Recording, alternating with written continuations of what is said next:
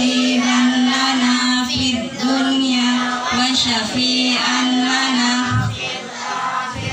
وصلى الله على رسولك الكريم نبيك الأمين سيدنا محمد